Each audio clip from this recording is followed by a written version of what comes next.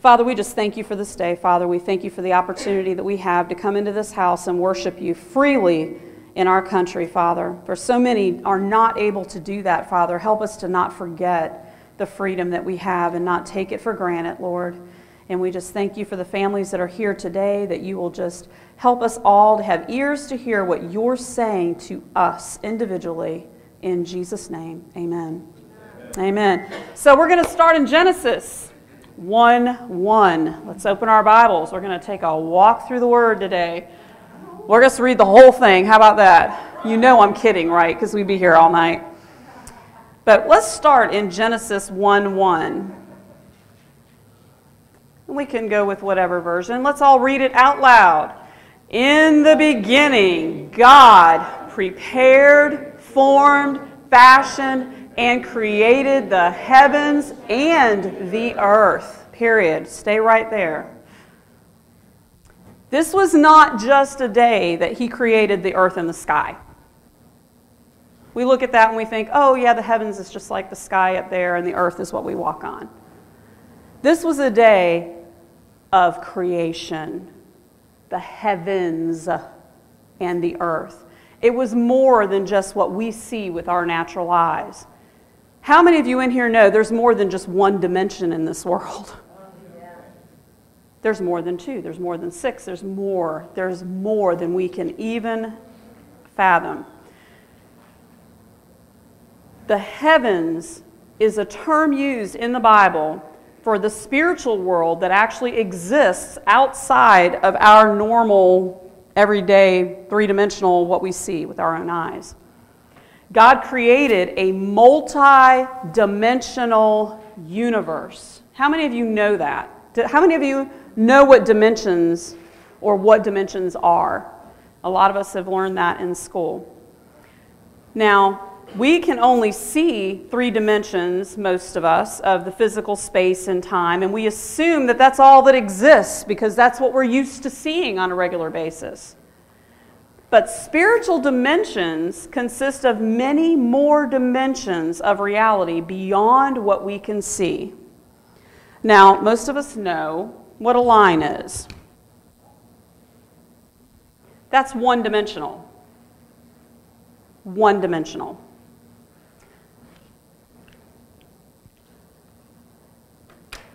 whenever you have, well, I'll just use this paper instead of going to get the other.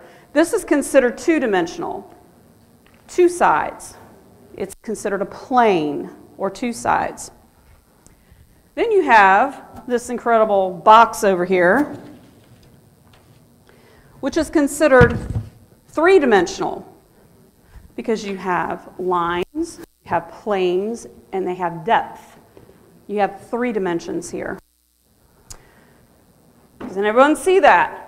Making sense so far? I'm going to be doing a little bit of reading here to try to help keep us intact with what's going on. Can I tell you, this is what we see every day. There is an existence outside the box, folks. And we need to get out of the box. And that's what we're talking about today. Getting out of the box. There is a website, and some of you can feel free to jot this down. It's on www.godandscience.org. Godandscience.org. And I'm going to read this directly from what they wrote because it's just absolutely amazing to me. It's called The Extra Dimensional Nature of God by Rich Deem. There is much evidence from both the Bible and from science that demonstrates that God must exist and operate in dimensions of space and time other than those to which we're confined to. God could not have created the universe if he were just a part of it. The Bible says, and we can turn to 1 Kings, 1 Kings chapter 8 verse 27, that God could have not created the universe if he was only part of it. The Bible says the universe cannot contain him. If the universe does not contain God, he's outside of what he has created. Amen? Makes sense so far? Yep. Everybody awake, everybody out there. Don't make me start calling on you now because I get you real woke up quick. The God of the Bible is invisible and cannot be seen except if he reveals himself to us in a three dimensional form that we can see. Can I say that again?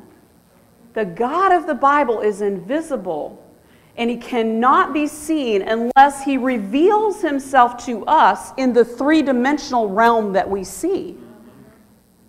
That's why he had to come in the form of Jesus, Jesus, man here on earth. A being which exists in dimensions beyond our three spatial dimensions would be invisible to creatures or to us that can only exist in the confines of our universe. Let's look at Colossians 1:15. Colossians 1:15.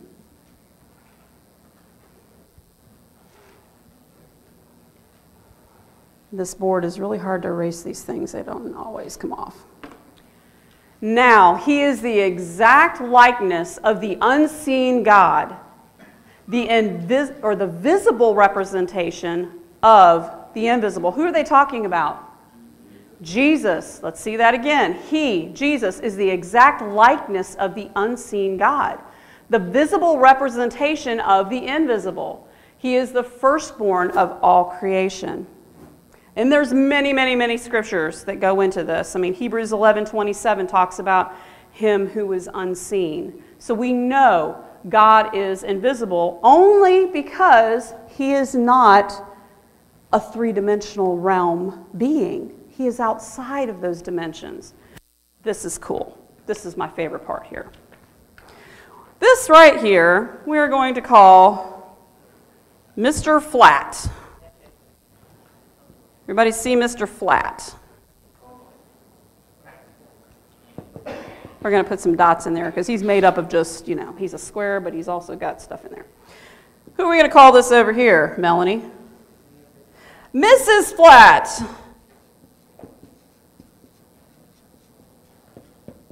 Because they are flat, they're on this plane. And we're going to pretend that this page or this screen, this board here, is a part of the universe. And Mr. and Mrs. Flat are part of that. Now, this is the Flat family. Everybody say hi to the Flat family. Hello, Flat family. Now, they're confined to this plane of this page, and they can only move within this plane they can neither see or interact with any part of the third dimension or three dimensional world. Whenever Mr. Flat looks at Mrs. Flat, what does he see? He sees a line. He cannot see what's inside Mrs. Flat because he's not in the third dimensional part of it. He's only in the plane of that one dimension. So when he looks at her, he just sees this line. Does that make sense? Everyone with me so far? Same thing with Mrs. Flat. When she looks at Mr. Flat, all she sees is that line. And we can move her all around here, and all she's going to see is the line. She will never see what's on the inside of those beings or of each other. However, we are observers of the third dimensional realm we can look at this and we can see inside Mrs. Flat and Mr. Flat, and we can see that there's something there. Because we're not in that dimension, we're in another dimension. Just like God is in another dimension, He can see us in our three dimensional world and can see things we don't see. Got it? Very cool. Now, Mrs. Flat would like to have a moment to herself. So Mrs. Flat decided she's going to go inside of her little box. Can Mr. Flat see Mrs. Flat anymore? No, because she's in a box. She's allowed these walls here. So Mr. Flat just sees the box. He doesn't see Mrs. Flat. However, we are able to see her because her walls do not extend into the third dimension of our universe. Likewise, and this is key, an extra dimensional God can see us at all times, no matter if we're trying to hide from Him or not. How can He hear all of our prayers and know everything that's going on, the inside of us? and know what's going on inside of you and you and you because he's a different dimension. He's a multi-dimensional God. He sees it all. He doesn't just see what we see. Right? A God who is who is not extra dimensional would not be able to observe anything. That's what sets our God apart from all other gods. He is omnipresent, omnipotent, all seeing, all knowing. Now, I'm going to try something a little bit different here. I'm going to show you how we are as Christians and our understanding. Yeah, this board is not going to really be the greatest in the world here for that. Hopefully, I can. We need a different marker here, folks. We're going to try to do this down here. See if I can draw it. This is going to be fun.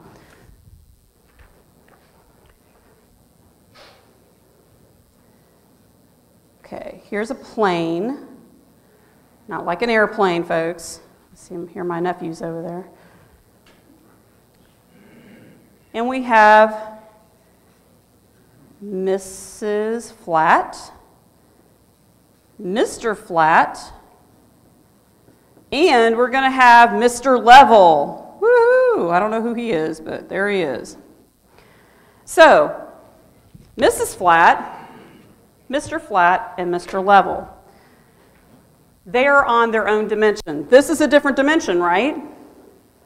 Now, say this cube, because it's a, in a different dimension than that, decides it wants to reveal itself to Mrs. Flat. And all of a sudden, it creeps into Mrs. Flat's world and taps it. And she says, oh, I see a point. That's all she sees. Then here's Mr. Flat. Here's a line.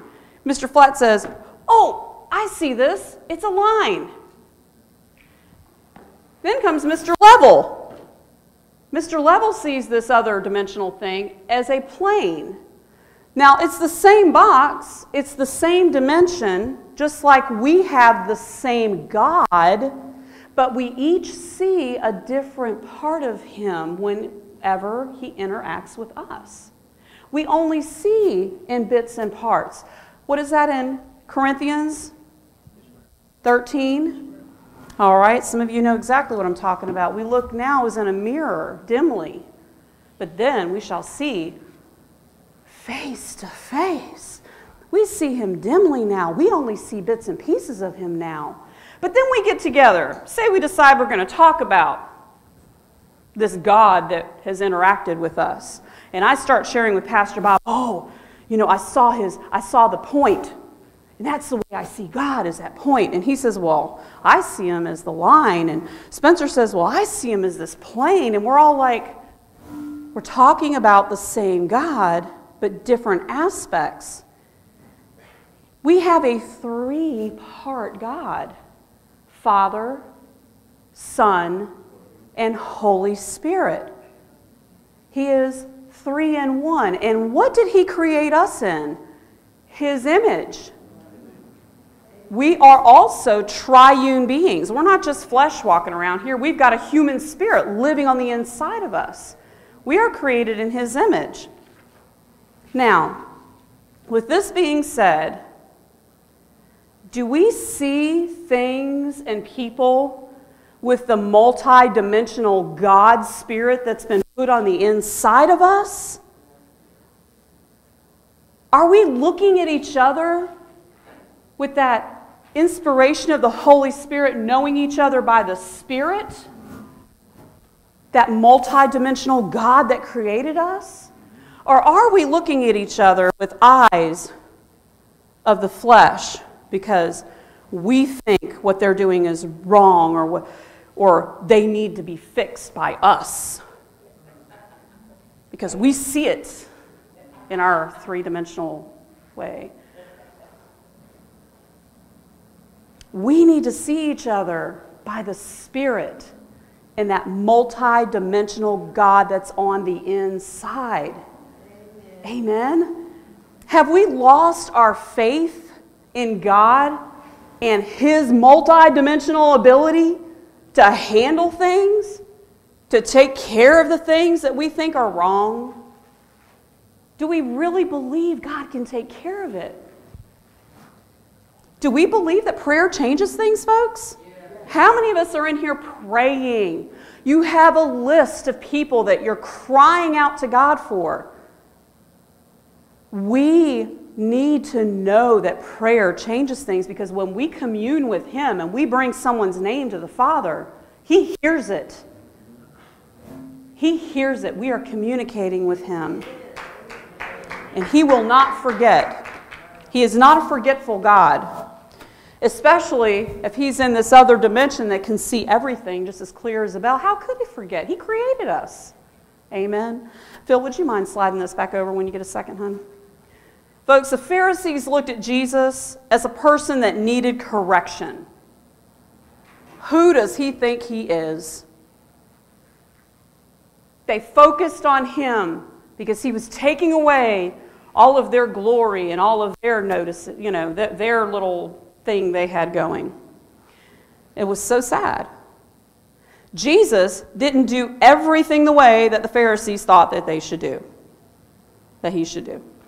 He was led by the multidimensional God that knows all and sees all. I don't know about you, but if I want to be led by the God of all, the all seeing, all knowing God that sees it, I want to be led by that. I don't want to be led with these. Take them out of my head for God's sake. This will get you in trouble every time. The flesh is never satisfied. The flesh is never satisfied. And I've said it a million times. Flesh is flesh. I don't care whose body it's on. And I'm telling you, we can think we're all pious and we've got it all together, but guess what? Take a look in the mirror. There is nobody without sin in this place unless they have been set free by God Almighty because of what Jesus did on the cross. That's how we are sinful, are sinless in the sinful world. Amen? Amen. And I'm so like, we need to, to embrace that because it will change the way we think. Yeah. It will change the way we think about other people. Yeah. It will change the way we think about ourselves. It will change everything. If this right here, what's that you call it? Stinking thinking. If we can get our minds off of what we see and our spirits in tune with God and be led by Him. I don't know about you, but I refuse to be put in a box.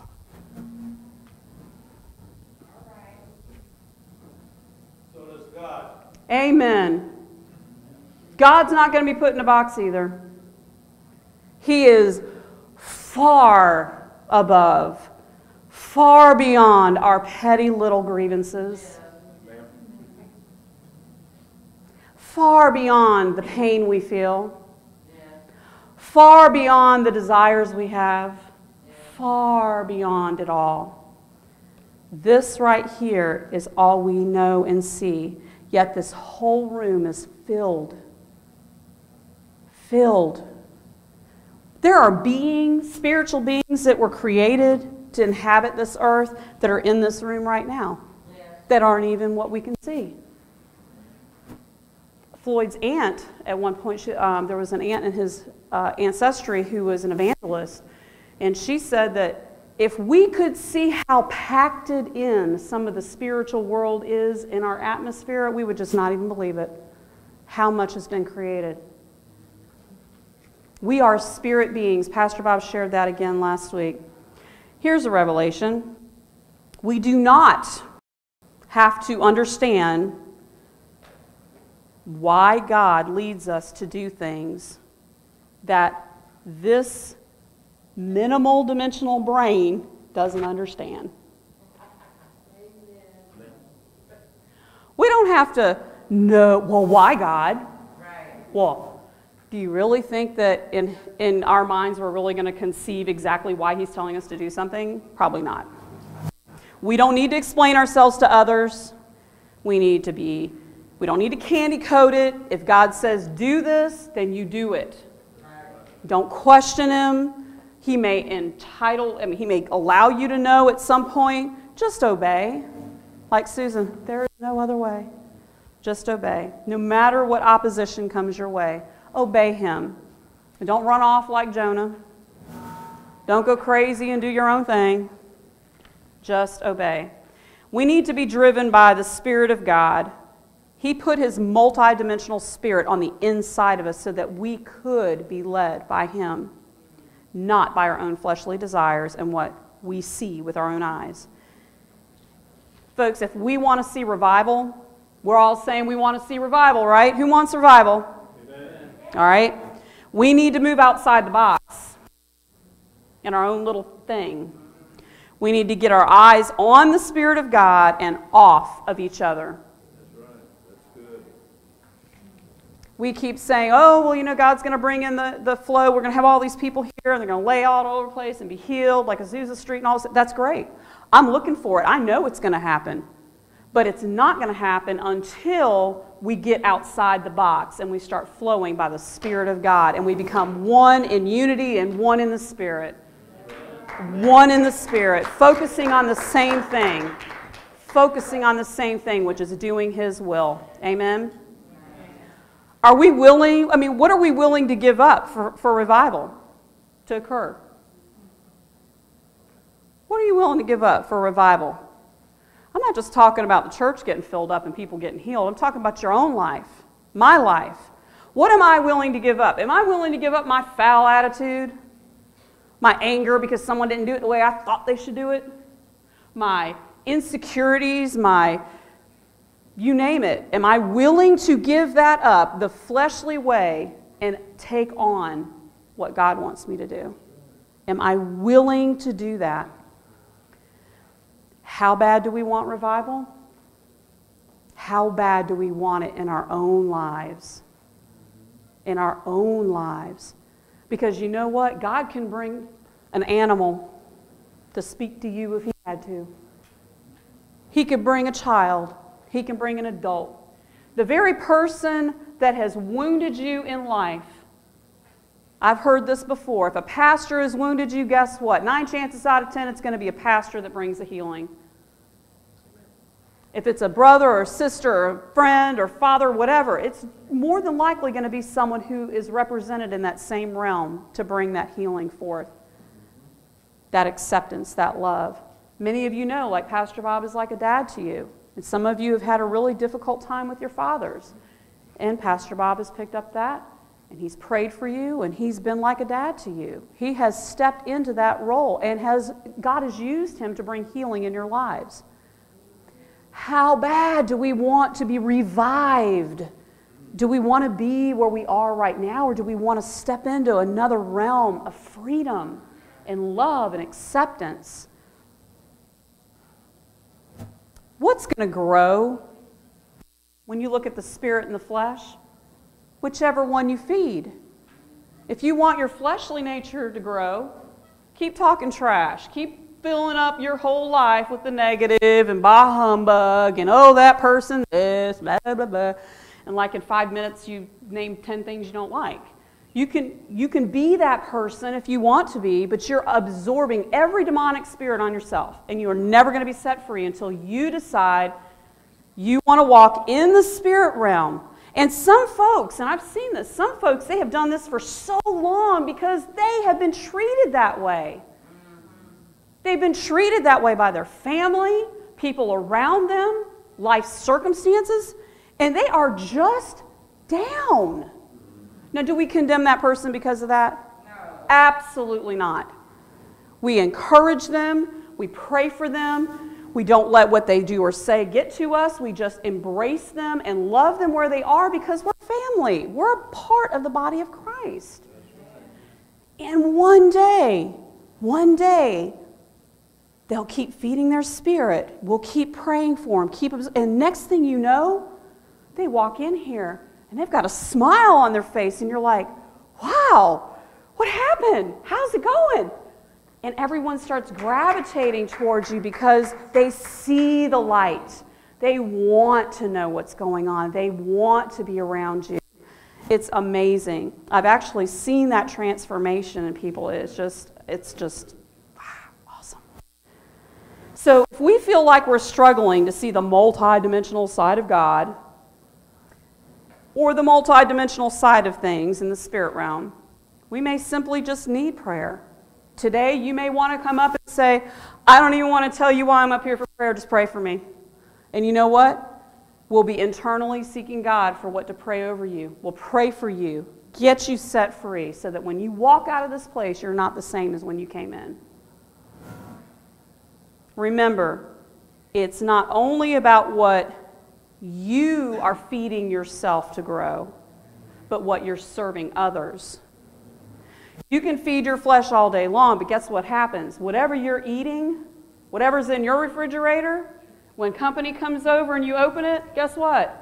You're feeding them the same stuff.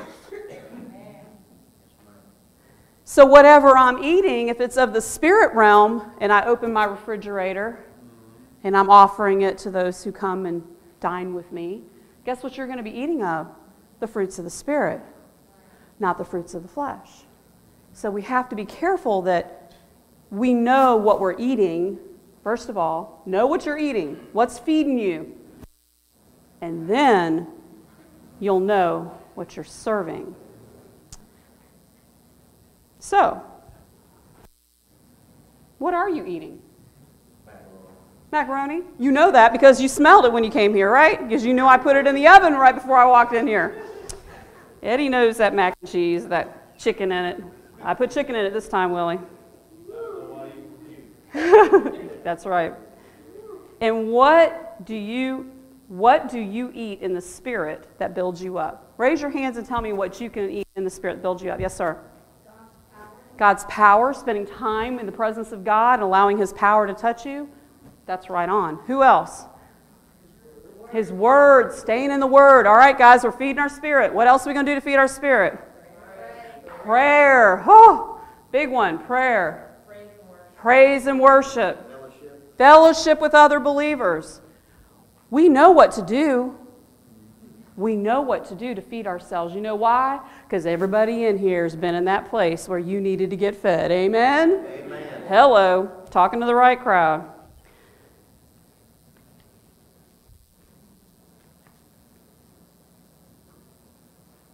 So, what do we eat that won't build up our spirit man, but will build our flesh? What can we partake in that's going to feed this flesh? Don't get too graphic, adults.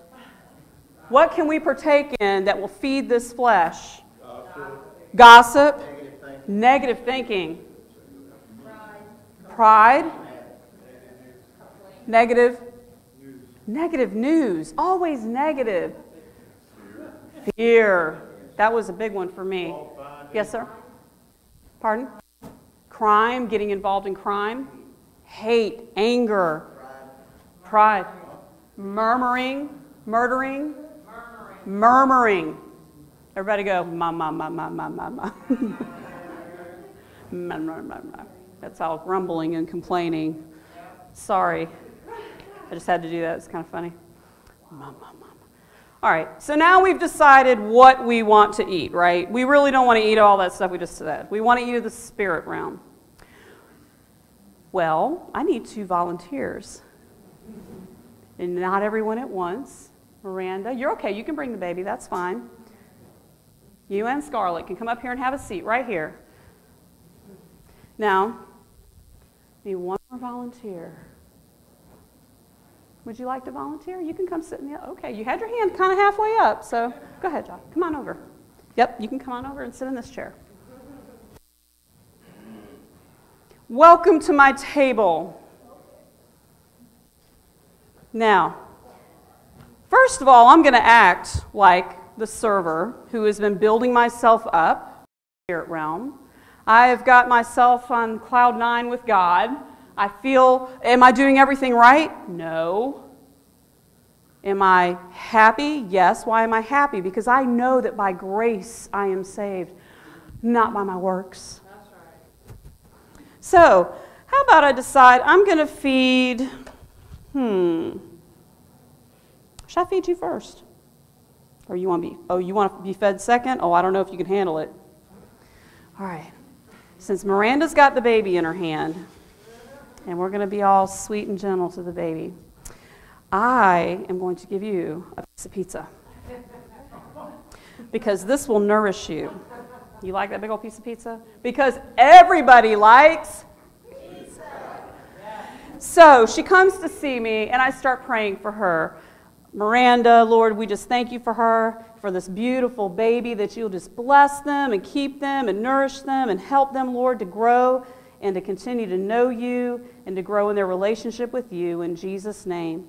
And then I come over here and I pour her some something to drink and oh, you're so wonderful. We love you. No matter what she's done, no matter how she's, we are embracing her, loving her pouring out of what's inside of me into her and Scarlet. Okay, let's flip the switch. Sorry, you said second. Are you sure you're ready for this? Are you really sure? You guess. You trust me enough, right? Just a little, anyway. Oh, man. You know what? You look, you look really tired. Now, anything I say to you is just for the sake of the teaching. Don't take this personal. You look really tired. You know what? I'm, I'm not real sure. I mean, are you sure you're okay? I mean, you must have something going on with you. Are you sure you're all right? Okay. Hey, I have this wonderful thing I would like to serve you today. Here you go. This is my emoji poop.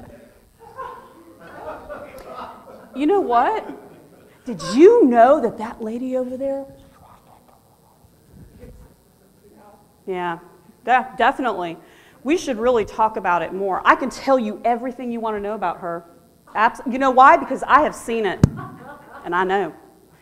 And you know what? Guess what? Let me tell you on this side. That way you don't get too, you know. That's right, that guy did that. Yeah. And then here I am. And uh, y'all, please do not be offended by this. If you are, please forgive me. I love my poop.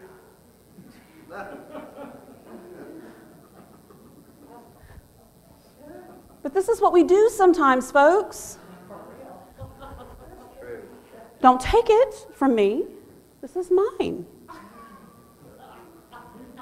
Some of us have been practicing this for so long that we don't know how to let go.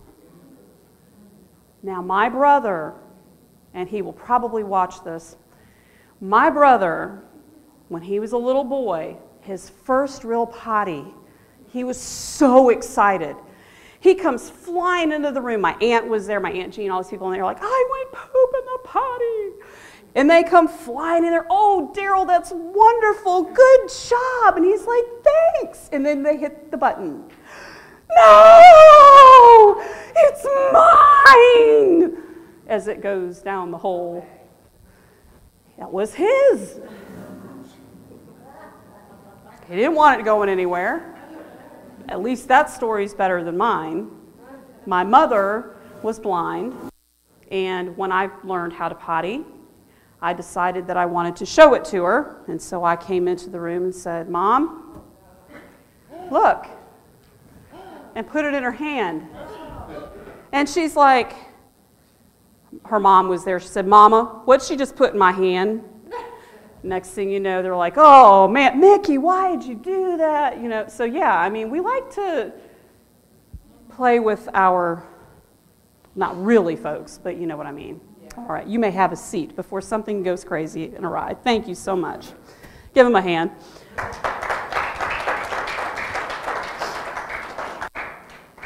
Now, if we're always delivering negative things to others, we're going to be labeled as negative people. And when you see a negative person, just look what they're carrying.